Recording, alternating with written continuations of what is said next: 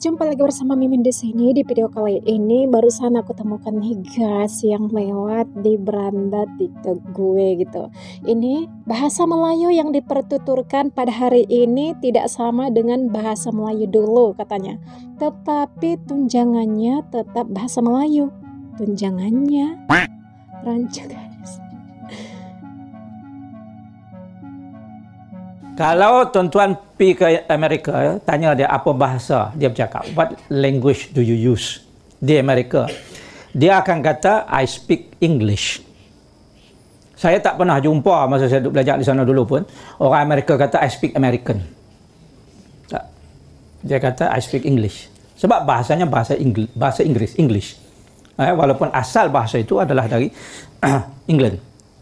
Dipertuturkan oleh satu kelompok, satu tribe yang kecil ya, di England, United Kingdom itu.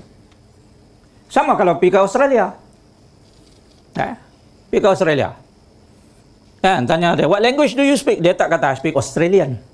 Dia kata, I speak English. Hmm. Jadi bahasa kita bahasa Melayu lah. Bahasa yang dipertuturkan di alam Melayu. Dah beratus tahun dah bahasa ini menjadi bahasa komunikasi di rantau alam Melayu. Eh, dalam istilahnya disebut lingua franca, bahasa komunikatif, bahasa yang dipertuturkan di alam Melayu, Semenanjung dan juga Nusantara. Nusantara itu artinya pulau-pulau, eh, Pulau Jawa, Pulau Sumatera, Pulau Borneo, eh, Filipina, eh, kan? eh, Selatan Thai itu termasuk dalam Semenanjung ini. Nah, jadi dipertuturkan ini 300 juta penutur, 300 juta penutur. Siapa pula ni? Eh? 300 juta penutur. Ada orang kata ini bahasa yang kelima terbesar. Mengapa penduduk Australia menggunakan bahasa Inggris sebagai bahasa nasional? Kita kasih tahu dulu ya guys, profesor yang satu ini gitu. Kalau nggak salah guys, ini pernah kita pelajari sewaktu tingkat SMP. Pada dasarnya, Australia tidak memiliki bahasa resmi, namun bahasa Inggris digunakan oleh sebagai bahasa nasional. Karena mayoritas penduduk Australia merupakan keturunan dari pendatang dari Inggris. Pendatang dari Inggris menggunakan bahasa mereka hingga akhirnya menetap menetap di benua tersebut. Akibatnya, penduduk asli yaitu suku aborigin tidak lagi merupakan penduduk di benua Australia. Sebenarnya kita dah tahu kan guys perihal bahasa Inggris ini yang banyak digunakan di negara lain karena mereka nggak punya identitas bahasa kebangsaan selain bahasa Inggris. Tapi kenapa orang-orang negara tetangga kita ini membahas permasalahan ini? Karena mereka menggiring opini bahasa Melayu dituturkan 300 juta jiwa bahasa terbesar kelima menurut mereka guys. mereka menganggap orang Indonesia ini disamakan sama orang Semenanjung. Bahkan pulau-pulau di Indonesia Nusantara ini dan Thailand bagian selatan mereka bilang termasuk dalam Semenanjung.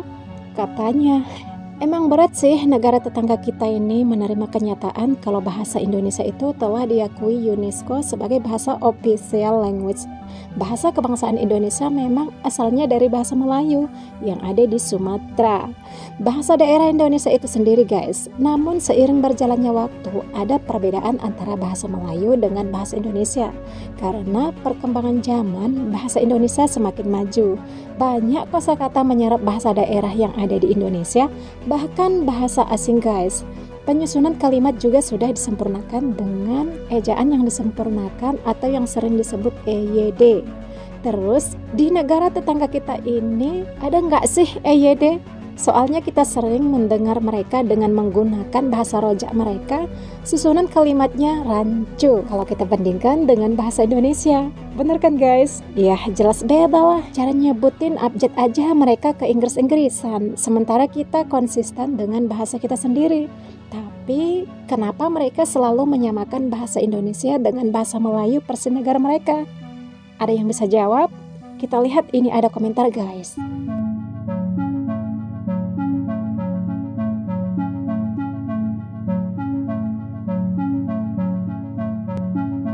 Komentar kurang asem guys. Katanya sengaja orang Indonesia merusakkan dengan menyerap perkataan Belanda dan Inggris.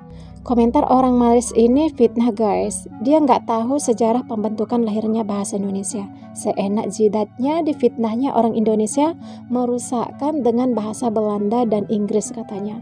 Tanpa mereka sadari, merekalah yang sebenarnya merusakkan bahasa mereka itu sendiri.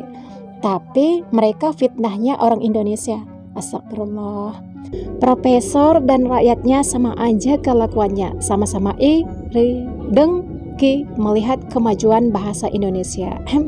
Biar orang negara tetangga tahu sebelum negara mereka lahir, bahkan sebelum Indonesia merdeka, bahasa Indonesia lebih dulu lahir guys. Tahun 1908, Perhimpunan Indonesia terbentuk sebagai organisasi mahasiswa Hindia yang belajar di Belanda gitu.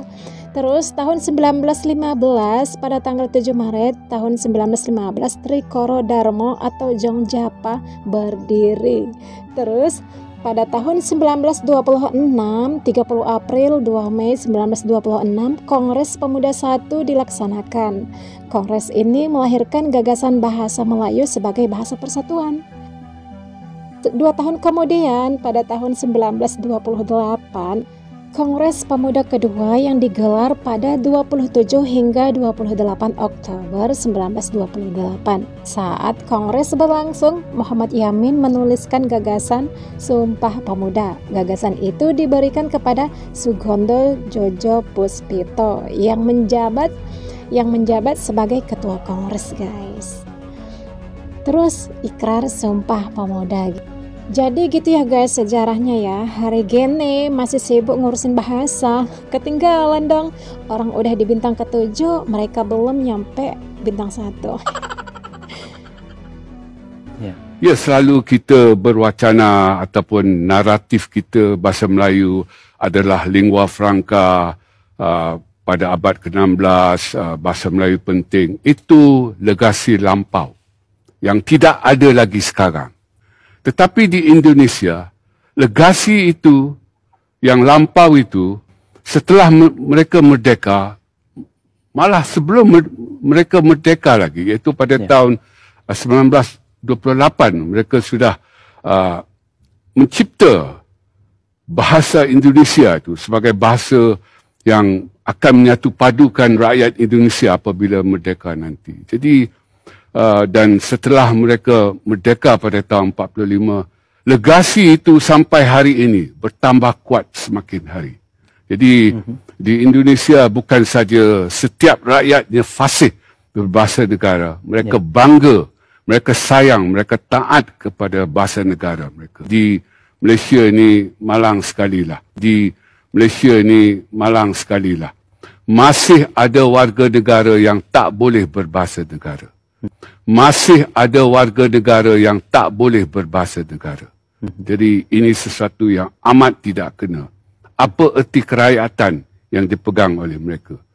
Jadi saya kira kita harus selesaikan masalah di dalam negara terlebih dahulu sebelum kita mau menyebar luaskan bahasa Melayu itu ke tempat-tempat lain.